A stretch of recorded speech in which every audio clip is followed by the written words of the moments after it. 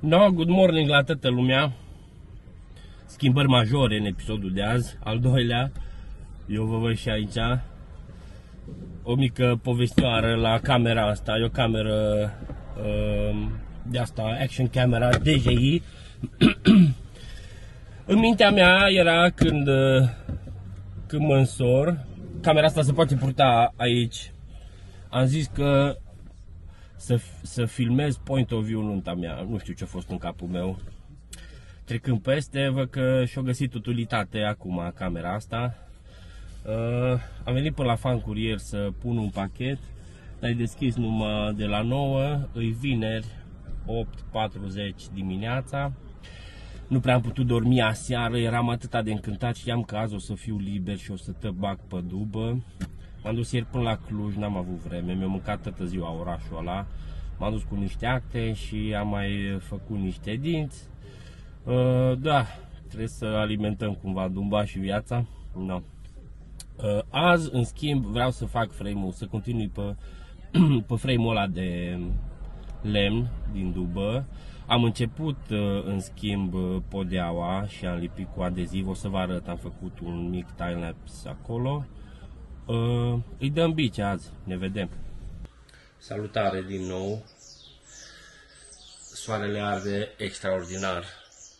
E o zi deosebită, foarte frumos afară. Înainte să ne apucăm de treabă, hai să facem o inspecție tehnică. să facem un șet la ce am lucrat până acum. Așa se prezintă duba. Că ele sunt lipite ca lumea.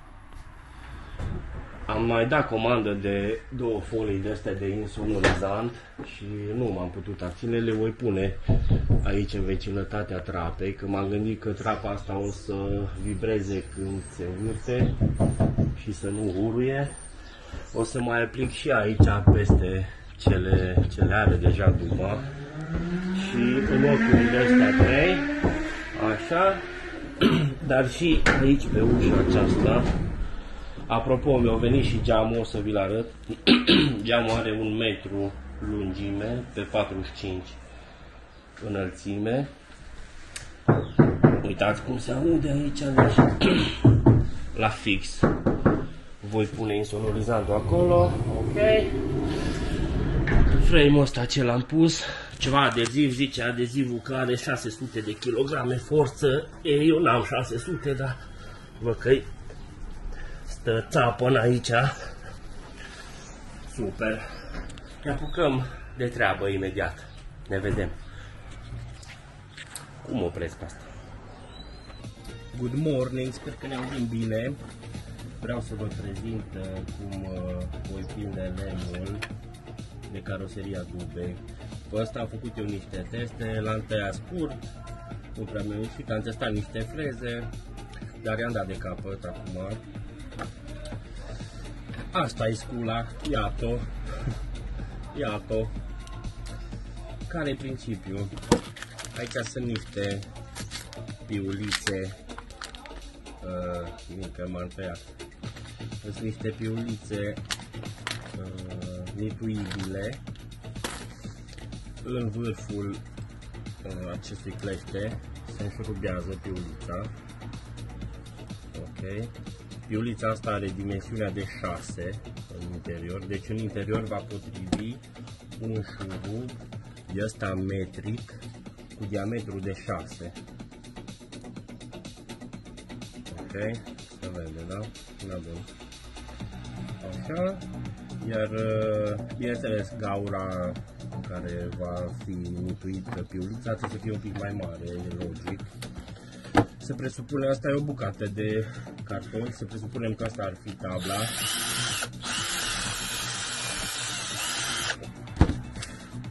Tabla găurită, da, din caroserie.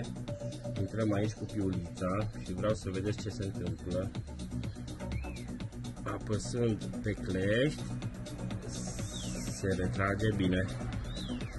Tabla rezistă, cartonul ăsta nu o să reziste și piulița va face un sandwich între... Tot timpul mă gândesc la mâncare. Piulița va face un sandwich în, între ea și tablația perforată. Vedeți? Sper că se vede acum. Uh, vedeți cum s-a strâns. Ok. Va veni lemnul, da, peste piuliță. Ăsta o să fie modelul de gaură ce vom folosi.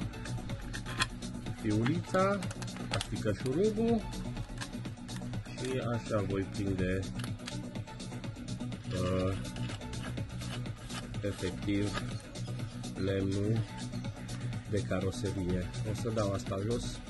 Nu știu cum să dau. Ok. Deci ăsta e principiul foarte smart. Ne-am mutat înapoi, înapoi în dubă să vă arăt uh, cam pe unde am pus piulițele astea. Practic în locul unde o să vină scheletul ăsta de lemn, efectiv. Vedeți? În fiecare gău găurile astea nu le-am dat eu, deci așa, așa a luat duba, găurită, efectiv. N-am avut ce să fac. De exemplu, gaura asta e un pic mai mare, cred că aici ar trebui o piuliță de 8 sau 10. Asta e, aici mi-a intrat uh, piuliță de asta de 6. În zona asta, cum a zis, o să fie 4 și în toate găurile ce le-am gândit eu, prind. Adică, nu, în toate găurile ce le-am uh, găsit pe aici am pus uh, piuliță. Cam așa.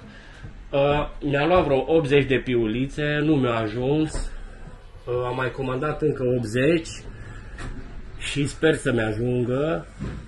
20 de piulițe e 5 lei, dar uh, nu, nu banii cât e timpul până vine, vine de undeva din sudul țării. No, tare mult îmi place sistemul ăsta. Zici că ești la stomatolog, domnul chirurg, vede aici unde poate să-și pună o piuliță și bagă unii, no, un dințișor, un implant. Toate cele bune. Ok, vreau să vă arăt acum. Am notat uh, locul unde sunt piulițele pe dubă. Da, deci uh, aici scotele, mă rog. A scris centru pe el că știam că vine pe centru barei transversale. Ok. O să măsor lățimea acestui lemn. Ok, de 6. Eu o să-i dau la 3. Ok, într-o parte și în alta. Ok. Fac o, vă explic la una și apoi restul le fac pe timelapse. Dau bârghiul ăsta jos care e de lemn. Vin cu freza asta.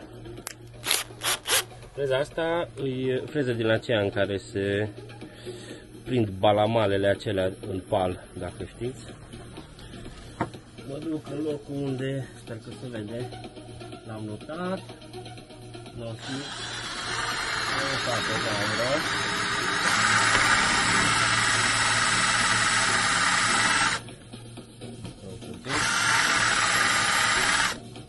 Cam așa. Care e ideea frezării astea? E că vreau să fie capul îngropat în lemn, să nu stau cu el așa, pentru că va veni lambriu peste și atunci trebuie să-l ascund. Ok, fac și a doua gaură aici.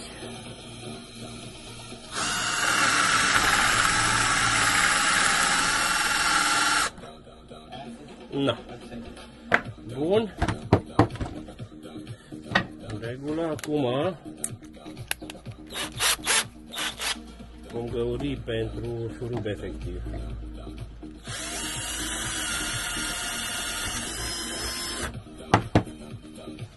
Ok.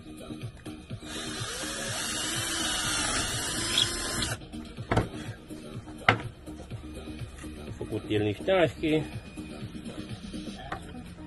Acum vom pune șurubul. Unii zic să pun șaibă, alții zic să nu pun șaibă. Mai este un sistem de cap îngropat unde folosești doar o freză. Am luat mai multe tipuri de șurub. Sunt un pic confuz, da? Eu cred că o să folosesc șaibă la ăsta și aia e. Continuăm în dubă.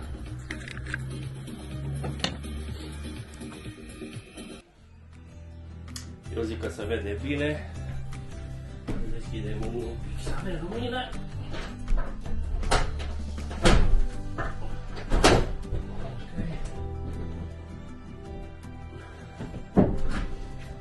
Așa. În, uh, vedem unde avem luminile acelea de la primniță.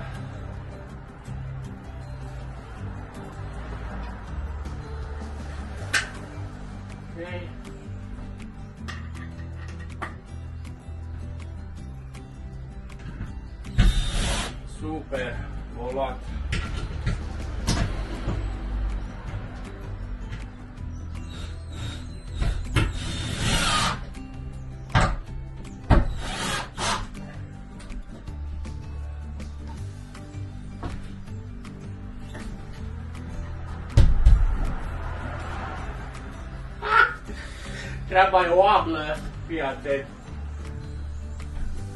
Bă, deci abia aștept. Cineva mi-a întrerupt munca astăzi. Bună ziua, Nenea Sorin! Să trăiți și el un pasionat de autorulote. El are o rulotă din aceea ce uh, se trage în spate, deci în spatele unui mașini.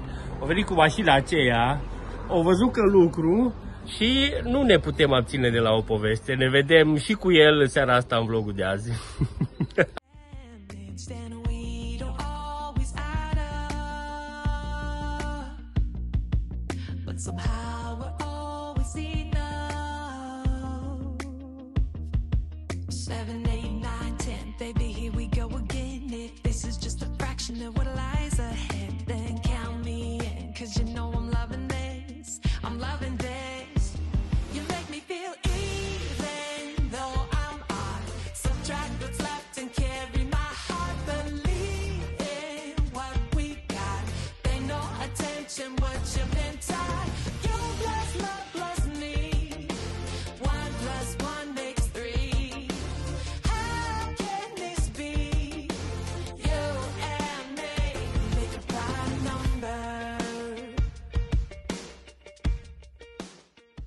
Oprim acum munca la dubă.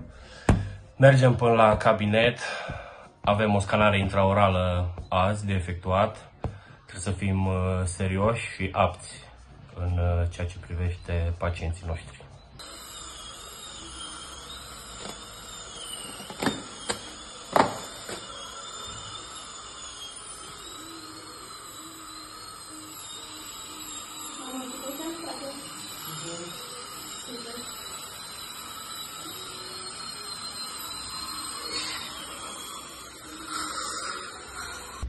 Iată-ne la lucru. Acesta este scannerul intraoral.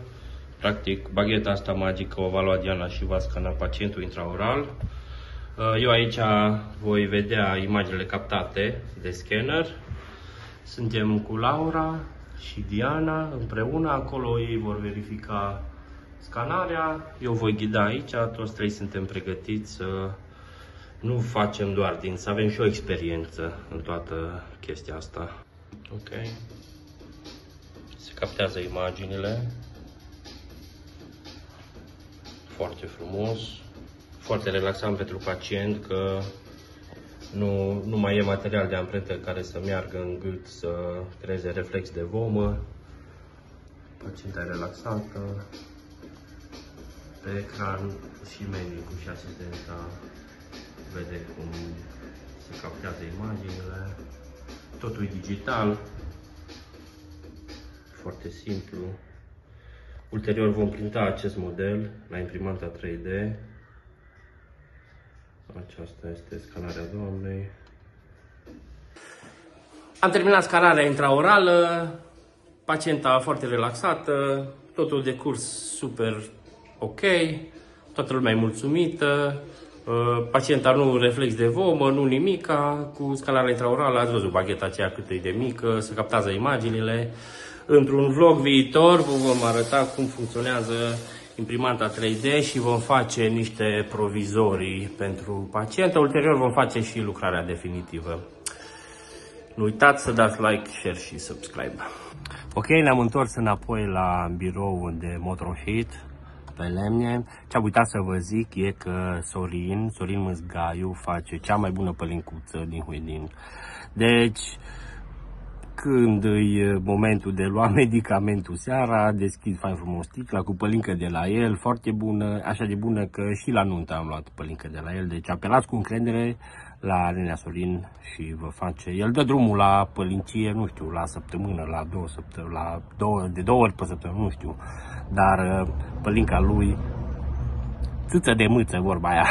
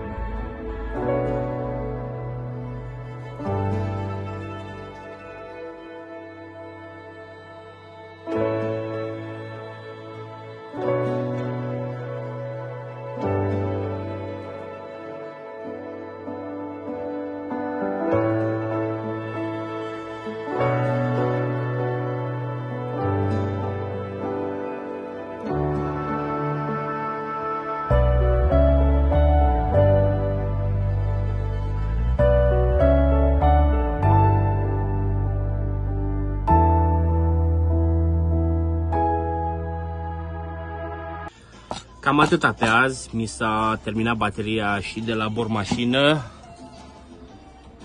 și de la camera video. Le-am pus la încărcat, cât timp o să se încarce, încerc să editez uh, vlogul, marele vlogger din Huedin. Uh, nu uitați, dați like, share, subscribe, mai ales cei care stau în Huedin, mă ajută foarte mult să împrăștiu vestea că m-am mutat la Huedin și că lucrăm în Huedin, altfel nu avem de lucru. Deci like, share, cei din Huedin, vă mulțumesc tuturor că ați fost atenți și m-ați băgat în seamă la al doilea blog. O să aveți o surpriză următorul vlog.